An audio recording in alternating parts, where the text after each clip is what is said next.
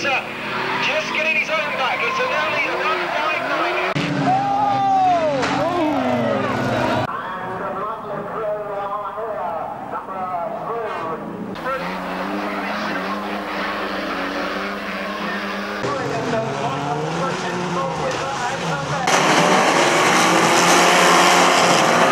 Gone down on the bend.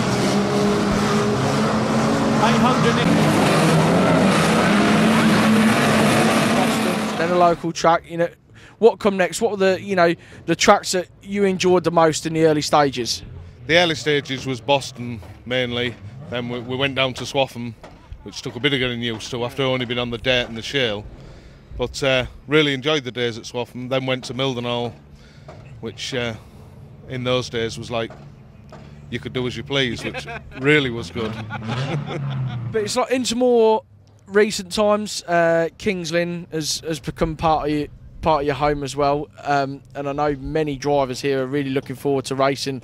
Uh, of course, uh, one last shot, uh, which we're really looking forward to. Um, you know, for yourself this season, you seem to have done so, so much racing. It's unbelievable.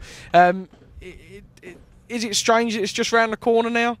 it's come round a lot quicker than I thought it was. When it was announced, I thought, oh, it's a long way off that. I'll get a lot of racing in. But uh, it came round a lot quicker than I thought. So we're just getting as many in at the moment. I think I've got uh, nine meetings to do in April and May alone.